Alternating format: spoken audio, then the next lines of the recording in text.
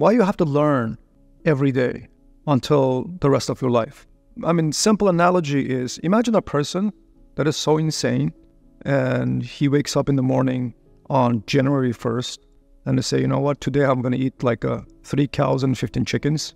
And therefore, I don't have to eat for the rest of the month or the rest of the year because I'm going to eat everything that I'm going to need for the future. So I don't have to waste time on eating again. So that doesn't make sense because, you know, in order to survive, we have to eat almost every day, right? So I think I would use similar analogy for people, you know, I got my diploma now. Now I don't have to learn anymore. It doesn't make sense. It's just like that person saying, you know, I ate a lot on Monday, I don't have to eat for the rest of the week. A learning should be lifelong because the nutrition for body is food and the nutrition for souls and the mind is knowledge. Therefore, you have to consume knowledge every day to survive and to, to become a better person technically. So I'm going to give you another example why you should learn for the rest of your life. Now, I did a little bit research. In 1800s, 80% of human population and planet, they were doing agriculture, they were farming, right? And if you look at today, it is 30% of people doing agriculture. Now you ask, why this would happen? We have more people, but less, we have more population right now, but we have less population uh, doing farming. Is because of automation, it's because of all this equipments and increased productivity, right? Now, even less people doing production or food production or agriculture, we have enough food for everyone in the world. Therefore, the productivity of agriculture went up, even though less people are doing agriculture, we all have foods now. What does that mean to you? It means that if you look at all over the industry, right? Now you go to Walmart, you see this self checkouts, right? You go to Panera Bread, you see this iPads, you can order foods, right? And now you can see, you know, they used to pay truck drivers $100,000 per year to drive truck. Now self-driving truck is on the roads and they're testing. Even in Silicon Valley, you call Uber, there's no driver in it, right? So I'm just thinking, who can claim the machine will do less quality job in terms of this repetitive process? What is repetitive process? For example, I would say driving train, operating a train is repetitive process. You go from going from point A to point B and you have to stop, you have to move. Very predictable, repetitive process. Truck, for example, you, you take off from warehouse, you go to another warehouse, right? So now if you look at it, I'm going to give you an example of truck. You have a truck driver that's getting $100,000 pay, at least. And you have a truck driver that could get into accident. You have a truck driver that could be distracted, could make mistakes, things like that, right? You have a truck driver that has only two eyes to watch what's going on and observe. Now, if you look at the self-driving autonomous technology, it is like watching, like with the sensors and the radars and with the cameras, it is impossible for a human being to compete with self-driving truck because self-driving truck is like monitoring 360 degrees, right? For maybe a half mile distance and a human being can only see in front of what, what's in front of you. So now all of a sudden, you have this like this machine that will never get tired and work better than human being. And get to guess what? That will never get paid.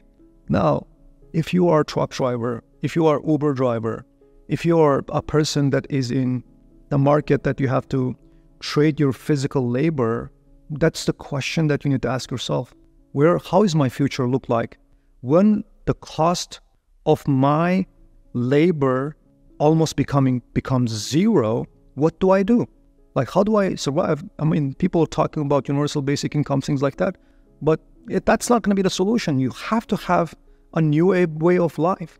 So, what I envision is this: is I believe as the society evolve with technology, empowered by technology, most physical jobs that requires human labor, like driving truck, driving Uber, uh, being a waiter, maybe customer service, right? Maybe accounting, bookkeeping, anything that is predictable and repetitive, less cognitive, will be automated by technology. The, therefore, the cost of those labor becomes zero. No company in the world will pay you $100,000 why they can use a software to do the same job better cheaper, more effectively, right? So that's kind of comparison. Now, as we're moving to this kind of society, I think the society is forced to move into knowledge economy. So what is knowledge economy? You're literally not selling your labor as, you know, physical labor. If you're working as a farmer, it's a physical labor. If you're working as data entry, you're typing something, is a physical labor. If you're working as a truck driver, it's physical labor. If you're working as a waiter, it's a physical labor. The physical labor will go down in terms of demand, and the knowledge work will increase. Demand for the knowledge work will increase.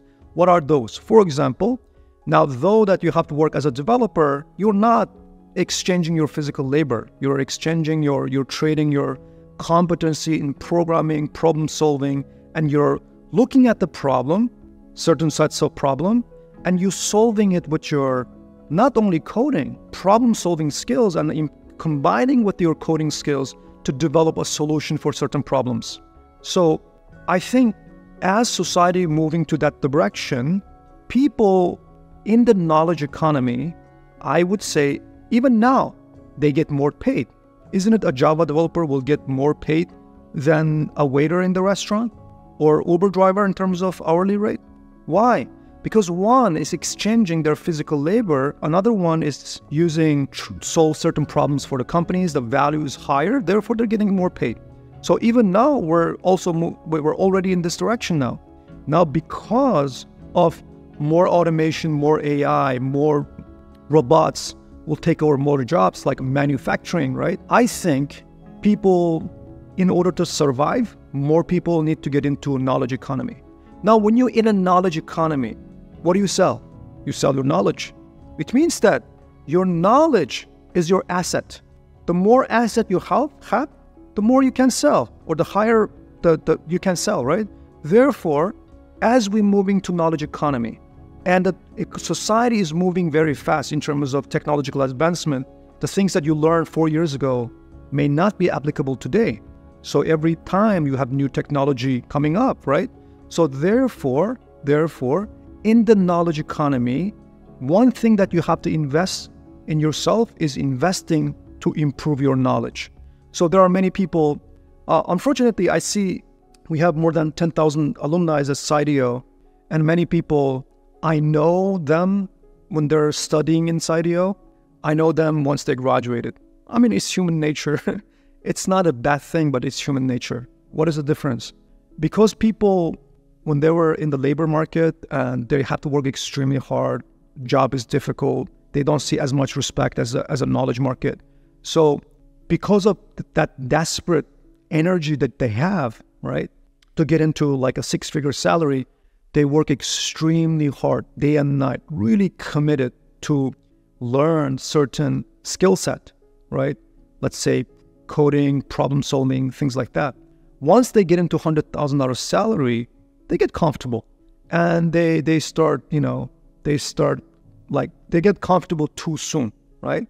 But the thing is this just like they got a job and replaced somebody else that was less competent than they are, right? So now they took the job, they went to interview. The reason that they get $100,000 offer because they outperform other candidates, right? Maybe those candidates, they went to the same interview, they worked for IT company for many years, but they did not improve their skill set. You know what I'm saying? So so now these people moving out from let's say labor market to knowledge market, you know, doubling, tripling their salary after a year, they, they got comfortable too. They don't they stop learning. Then guess what's gonna happen? The new people coming, they're learning more, they're outperforming in terms of learning new skill set better, faster. So these people will be replaced. So now, because of that reason, I think people like even me, right? My I'm super like a, how do you call? I am like a chaos person for myself. I'm always like I need to learn more. I need to learn more, right? That mindset helped me to be successful in life, in business, and everything. And plus, you know, learning is like mind stimulating. It's cool. Like you're a knowledgeable person, right? You make more money. You are more successful. You're you're you're a wiser person, right? So therefore, for those people who are in the comfortable position. If you get comfortable in this world, look at Nokia, how they disappeared from the world. Look at Blockbuster, how they got disappeared. This beautiful memory. Look at all these companies once in the while, once upon a time, they were on the top of their success and they get comfortable. Somebody came after them, exceeded them, and became super successful and those companies disappeared. Where is Nokia? Was Nokia a best compet company? I miss Nokia. But it was Apple who innovated. It's like innovation. Learning is like innovating yourself. So therefore, I think the future economy is going to be a knowledge economy. In the knowledge economy, your asset is your knowledge. Therefore, investing in your knowledge, improving it every day, learning every year, gain some new skill set every year is going to be crucial for your success. Learn more, earn more for the rest of your life, and be happy.